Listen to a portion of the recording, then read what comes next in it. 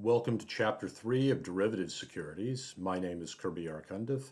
I have a PhD from the University of Illinois at Urbana-Champaign. I'm a chartered financial analyst and a certified financial planner. I currently work as a portfolio analyst and retirement strategist, and also an adjunct professor of accounting and financial management.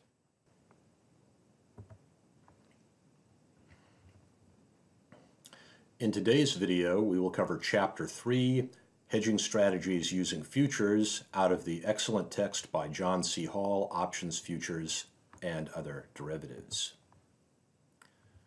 There are two different types of hedges you can use using futures, a long hedge and a short hedge.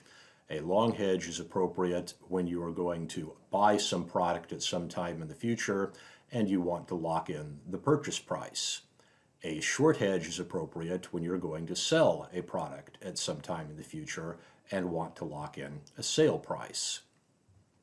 Examples of entities that would use a long hedge, a trucking company or an airline that wants to lock in long-term the purchase price for its fuel to lower the risk of that price going up, um, and a steakhouse that wants to lock in a purchase price for cattle, are perhaps also in the agricultural sector a baking company that wants to liken the purchase price for grain.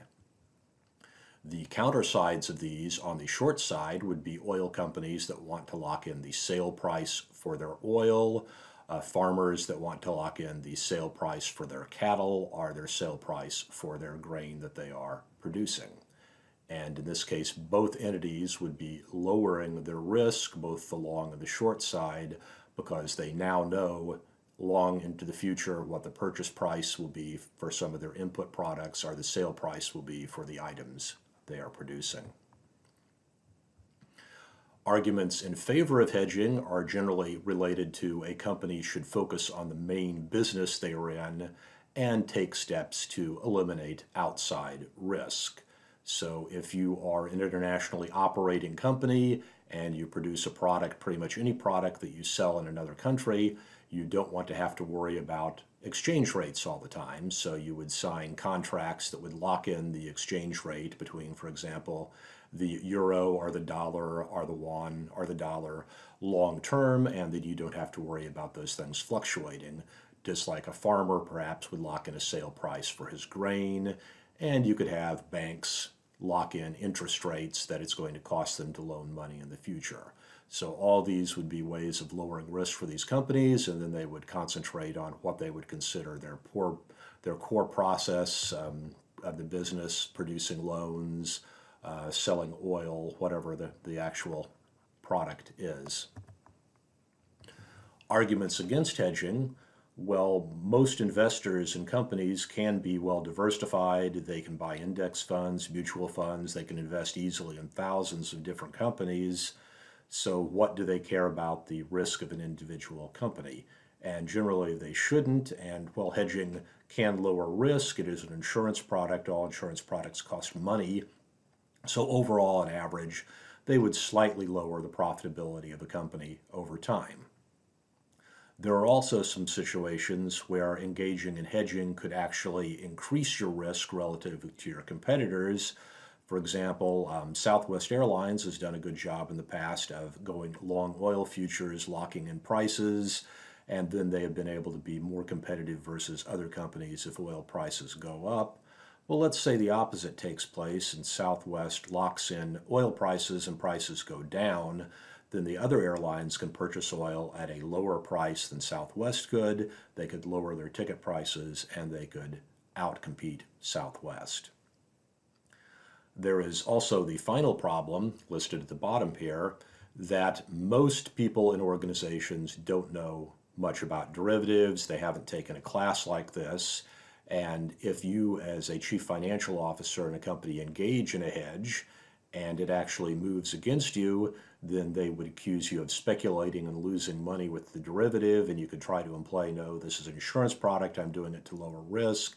But that might not go over too well with the CEO. It might not go over with the other management or with the shareholders in the company.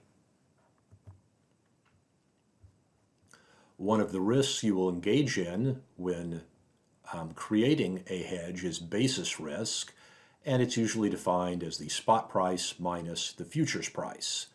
And it's going to arise because of the uncertainty about the basis when the hedge is closed out. So commonly, if you do a hedge involving a futures contract, you will not be able to get a futures contract on exactly the product you want expiring on exactly the date you want, which will create this basis risk. We show here a long hedge for the purchase of an asset. Um, if we just purchased it on the day we wanted it, we would pay S2, the asset price at the time of purchase. Well, let's say we sign a futures contract for a hedge ahead of time, and then what we would have is F1, the futures price at the time the hedge is set up. This is the contract we sign it for. On the day of expiration, we have the futures price at the time the asset is purchased, F2. If um, the future expired on the exact day that uh, we wanted to engage in the purchase, F2 would be S2, but that isn't always the case. So if we look down here at net amount paid, well, if our future expired on exactly the day that we wanted to engage in the purchase, F2 would equal S2, and this would cancel out, and we would pay F1 what we signed for the contract. But since that isn't always going to be the case, in reality, we will pay F1 plus the basis, and the basis is again the distant, the difference between S2, the actual purchase price of the contract, and F2, the um, value or the price of the future on the day of expiration. We can look at the same sort of equation for a short hedge when we are wanting to sell a product in the future. And again, the price of the asset when we are going to sell it will be S2. Um, the day we sign the short hedge for sale, um, F2 will be the future price at the time the hedge is set up. F2 will be the future price at the time the asset is sold, and S2 is again the asset price at the day of sale. B2 is going to be the basis of the day of sale. So we sign a contract for F1. If we could actually sign a futures contract on the exact product we want expiring the day we want to engage in the purchase, then F2 and S2 will be the same thing and they will cancel out in our lower equation and we will pay F1 the future price we signed the contract for. Generally, that's not the case, so we will pay F1 plus the difference, S2 minus F2, since we probably cannot close out our contract exactly on the day we want to purchase the product. Choice of contract. Well, you can't always, again, get a contract on the exact product you want to buy, so you have to find one that is closely correlated. Um, if you want to hedge on the US dollar versus, let's say, the Polish zloty, the currency of Poland, well, there probably isn't a very liquid contract on the Polish zloty, but it trades pretty well correlated with the euro, so you might choose to hedge on the dollar versus the euro. So you're going to want to choose a delivery month that is as close as possible to, but later than, otherwise your insurance expires before your hedge expires, the end of life of the hedge. Uh, when there is no future contract on the asset being hedged, choose the contract whose futures price is most highly correlated with the asset. That is known as a cross hedge. And how do you create the optimal cross hedge? Well, we look at an equation like this, and we say the proportion of the exposure that should optimally be hedged is H star, where rho down here is the coefficient of correlation between change in S and change in F. Um, delta S is the standard deviation of delta S, the change in the spot price during the hedging period, whereas delta F is the standard deviation of change in F, the change in the future spot price during the hedging process. So this would be the number of contracts optimally you would want to hedge. As a mathematical example, we will look at this. An airline will purchase 2 million gallons of jet fuel in one month and hedges using heating oil futures because there isn't a very liquid and good contract on actual jet fuel.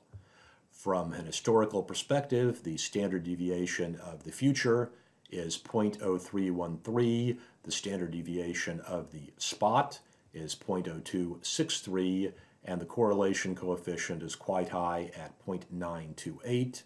So the number of contracts you're going to want to hedge is 0.928 times the ratio of 0.0263 divided by 0.0313, which gives us 0.78. So our actual hedge would look like this. The size of one heating oil contract is for 42,000 gallons of heating oil.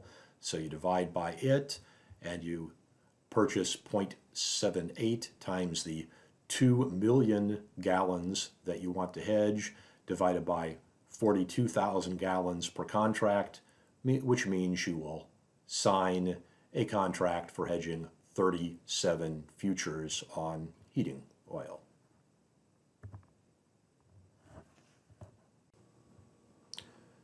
An alternative definition of the optimal hedge ratio is shown here. H hat equals rho hat, standard deviation S hat standard, divided by standard deviation of F hat. And the difference is now the correlation coefficient here is the correlation between the percentage daily changes for the spot and futures, whereas earlier it was a correlation between the dollar daily changes for the spot and futures. The standard deviation hat of S now is the standard deviation of the percent daily changes in spot versus dollar change in spot. And standard deviation of F hat is the standard deviation of percent daily changes in futures versus earlier when it was dollar change in futures. The reason for doing this is shown here. Let's say we are engaged in a cross hedge, for example, the jet fuel hedge using heating oil contracts discussed earlier. Well, the optimal number of contracts um, is going to be this equation here, which we can adjust for daily settlement. So initially it's going to be our initial definition of H star times big QA over big QF where big QA is the size of position being hedged in units, and big QF is the size of one futures contract in units. We could rewrite this for the optimal number of contracts after tailing adjustment to allow for daily settlement of futures as our H hat that we defined in the last slide times big VA, which is the value of position being hedged, the spot price times QA, divided by big VF, the value of one futures contract being hedged, which is the futures price times QF. Now this we can adjust on a daily basis, and the reason we're going to do that is the price our value of the jet fuel that we're going to want to hedge is going to change on a daily basis and the value of the heating oil is going to change on a daily basis, and these two are not going to change exactly in tandem. So as the marking to market process occurs in the futures market, as a result of that, we're going to want to change the optimal number of contracts at least slightly on a daily basis or maybe on a weekly basis throughout the life of our hedge. Another type of hedging we might want to engage in is hedging using index futures to hedge out the value of a stock portfolio. Let's say you have a million dollar portfolio and you are worried about the stock market dropping. You might want to at least temporarily hedge out that risk. To do that, to hedge the risk in a portfolio, the number of contracts that should be shorted, taking a short position, is going to be this, where you might use something like the S&P 500 futures. So VA is the value of your portfolio, say a million dollars. Beta is going to be measured as the covariance between your portfolio and the S&P 500 divided by the variance of the S&P 500 and VF is the value of one futures contract. As an example, we would say if the S&P 500 futures price is 1,000, it's quite a bit above that now, and the value of your portfolio is 5 million, let's say you have a relatively high risk portfolio of 1.5, then you could calculate using the previous equation the position in futures contracts on the S&P 500 necessary to hedge your portfolio. We will show the solutions to these type of examples, or at least similar ones, in separate videos. You could also ask the question, what if I don't want to completely hedge out my position but just reduce my risk? You could ask what position is necessary to reduce the beta of the portfolio 0.75? Or what if you want to increase the risk of your portfolio if you think the market's going to go up a lot? You could also ask what position is necessary to increase the beta of the portfolio to 2. And again, we will have separate videos that will explore solutions to these problems that you can work on between now and the time period those videos are watched. Why would you hedge equity returns like this? Well, again, you may want to be out of the market for a while if you think we're, for example, in a, another version of the dot-com bubble, which is certainly possible here at the end of 2021 and hedging would avoid the cost of selling and repurchasing the portfolio and also avoid a lot of things like capital gains taxes. Um, you could also look at questions of suppose stocks in your portfolio have an average beta of 1, but you feel they have been chosen well and will outperform the market. Maybe you just want to, rather than taking on stock market risk, just want to take on the risk of your ability to choose stocks better than the stock market then hedging could ensure that the return you earn is risk-free um, rate of return plus the excess return on your portfolio over the market. This would be something similar to what a hedge fund would do. Try and eliminate market risk and just make returns risk-free above market risk.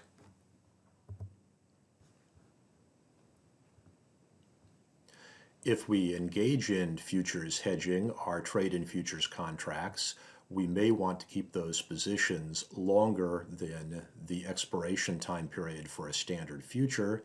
Um, one way of doing this is so-called stack and roll. We can roll futures contracts forward to hedge futures exposures. Initially, we would enter into a futures contract on hedge exposure up to a certain time horizon, maybe a year.